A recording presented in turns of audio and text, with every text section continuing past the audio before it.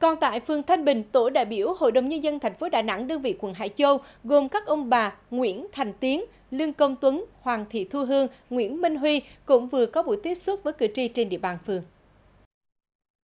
Tại buổi tiếp xúc, bà con cử tri đã ghi nhận những kết quả và nỗ lực của thành phố trong thời gian qua. Nhiều ý kiến tâm huyết đã được cử tri phường Thanh Bình gửi đến các đại biểu Hội đồng Nhân dân, như việc quan tâm đẩy nhanh tiến độ các dự án trọng điểm, điều chỉnh các tuyến xe buýt, chỉnh trang đô thị, trật tự vỉa hè, an sinh xã hội. Với tư cách là đại biểu Hội đồng Nhân dân thành phố Đà Nẵng khóa 10, nhiệm kỳ 2021-2026,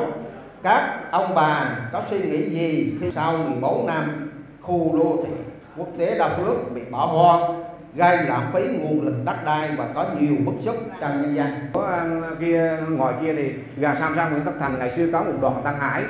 à, cũng khu dân cư yêu cầu có tên đường, nhưng vừa rồi giải thích là hắn liên phường cho nên không được. Thì nếu như dân nói không được thì cũng cho đánh một số số kiệt kiệt để cho dân có số nhà. Tại vì dân cái thành phố đáng sống mà, bây giờ nhiều nhà không có số nhà.